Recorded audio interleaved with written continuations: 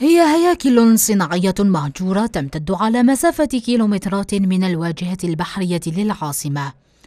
جدران منهارة وأبواب حديدية أكلها الصدأ.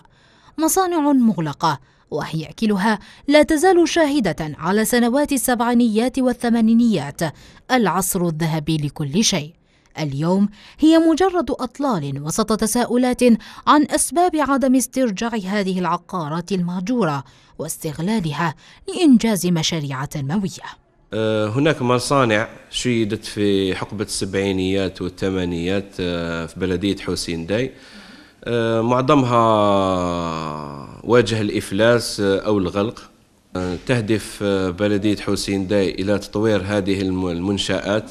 بالتعاون مع كل كل les parties intéressées آه، من وصاية أو بلدية أو حتى مديرية أملاك الدولة أو حتى مديرية الصناعة من أجل إيجاد حل لهذه المنشآت المهجورة.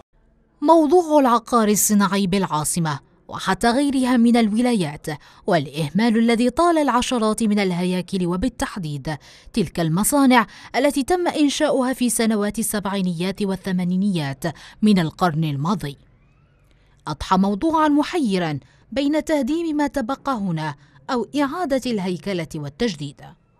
راح تكون بلدية حسين داي إن فعلت هذا البرنامج باستغلال كل هذا الوعاء العقاري المهم جدا بالنظر إلى وضعية بلدية حسين داي اللي هي وضع استراتيجي مهم. إحنا ما راناش هنا نقولوا بلي هذه الأوعية العقارية ولا لازم تستغل فقط من طرف بلدية حسين داي. إحنا نفتحوا باب الاستثمار للجميع. آه، الكل يشارك من أجل البناء هذا هذا الموقع الاستراتيجي اللي تحتلوه بلدية حسين داي. رغم أن ولاية الجزائر شهدت خلال العقود الماضية نقلة نوعية فيما يخص التطور الحاصل في مجال العقار الصناعي إلا أن عدم استغلال وإعادة بعض المصانع المتوقفة خاصة تلك المتواجدة بجانب الطريق السريع في حسين داي رهنت آفاق التطور الاقتصادي وحتى السياحي بعاصمة البلاد. المصانع والهياكل الموجودة والمهجورة في نفس الوقت في العاصمة وخارج العاصمة. هي ثروة مهملة وتشوه المنظر السياحي والجمالي للمدينة وللعمران. فيجب أن يكون هذا الملف من أو في صلب عمل اللجنة الوزارية التابعة لوزارة الصناعة واللي ترفع في العراقيل على المشاريع الصناعية بحيث يتم إحصاء مختلف هذه المصانع والهياكل المهجورة وتحديد السبب لماذا هي مهجورة هل أسباب قضائية أسباب اقتصادية مع محاولة إعادة بعثها أو استرجاع هذا العقار الصناعي لاستغلاله من ناحية اقتصادية وتحسين صورة المدينة والعمران. السلطات العليا أعطت أولوية خاصة للاستثمار وإعادة بعض المشاريع المتوقفة ومن بين الأولويات ملف العقار الصناعي. الموضوع الذي تثيرونه وهو العقار الغير مستغل وجب آه، التمييز بين بين بين نوعين من العقارات.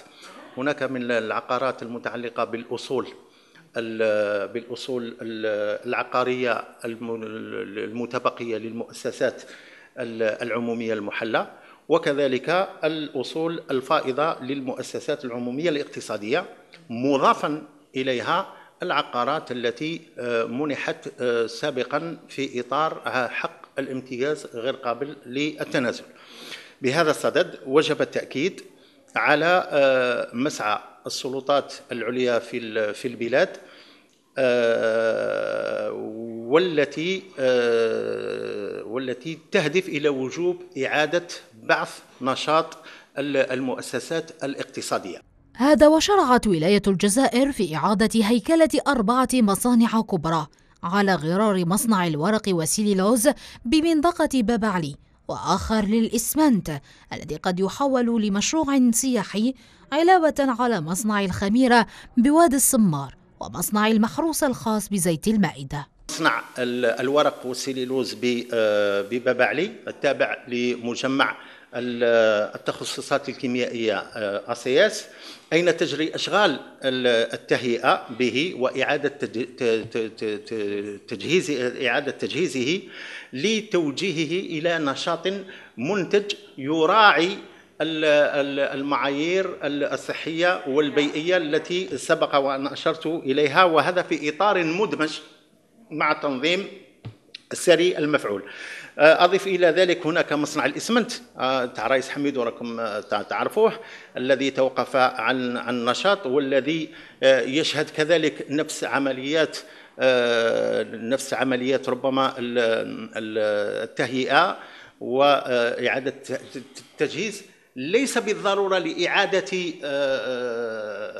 تكليفه بنفس النشاط صناعة الإسمنت لأنه كما قلت لك جاي في محيط عمراني وبيئي يقتضي يقتضي معه آه، إعادة بعثه لكن ربما بنشاط بنشاط آخر.